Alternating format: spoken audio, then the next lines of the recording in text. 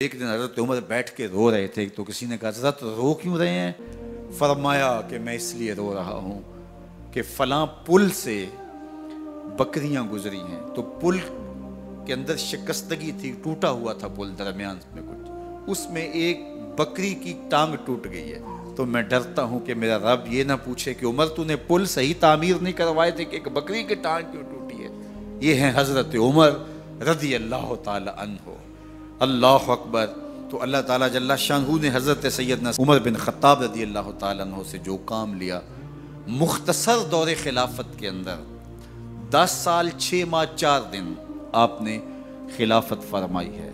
لیکن کہاں سے چلے اور یہاں مکران تک، بلوچستان کا حصہ ہے، یہاں تک آپ کے سلطنت کی حدود وسیع ہوئی۔ ادھر آرمینیا تک جا پہنچے، ہمس فتح کیا قادسیہ یرموک، آپ ذرا دیکھیے کہ کہاں تک آپ کی فوجوں کے گھوڑے دوڑتے رہے۔ اور اللہ تعالیٰ جل شاہ نے ان کو جو توانائی، عدل و انصاف کی قوت عطا فرمائی۔ اللہ اکبر، جب زمین پہ عدل کیا ہو تو زمین بھی حکم مانتی ہے۔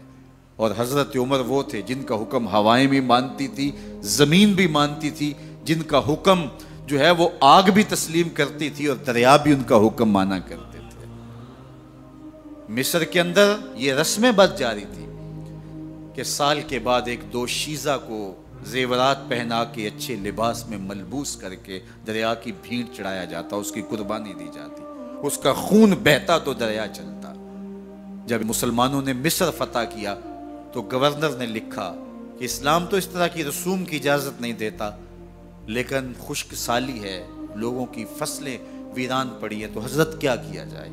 تو حضرت عمر رضی اللہ تعالیٰ عنہ کاغذ کے ٹکڑے پہ لکھتے ہیں، بسم اللہ الرحمن الرحیم۔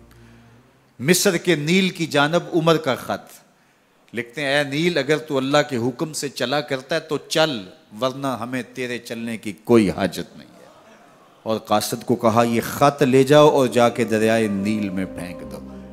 قاصد جا کے خط دریائے نیل میں پھینک دیتا ہے، پانی آتا ہے، ایسا دریائے نیل چلا، چودہ صدیاں ہوئی ہیں، آج تک کبھی بند ہی نہیں ہوا۔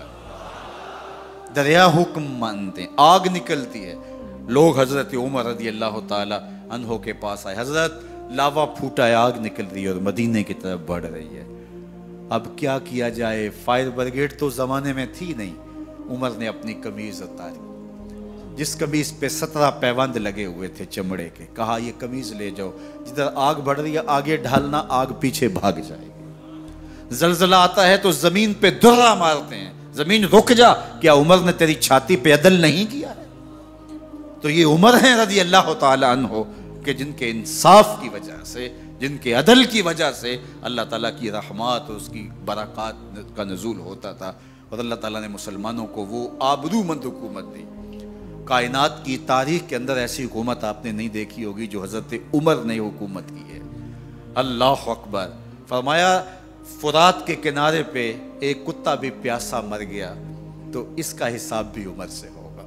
باہر سے سفیر آتا ہے اور آ کے پوچھتا ہے کہ میں امیر المومنین کے، مسلمانوں کے، حکمران کے محل میں جانا ہے۔ تو وہ مسکرا کے کہتے ہیں، ہمارے امیر کا تو کوئی محل نہیں ہے۔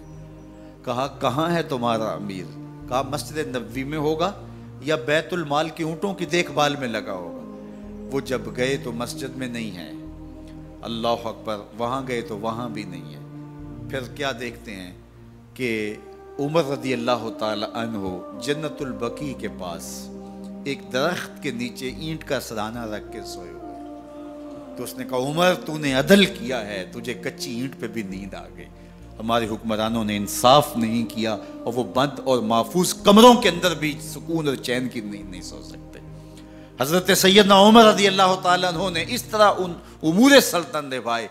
آپ دن کو لوگوں کی دیکھ بھالی کرتے، لوگوں کی ضروریات سنتے، سمجھتے۔ اور جب رات پڑتی، لوگ سو جاتے، عمر مدینے کی گلیوں میں پہرا دیتے۔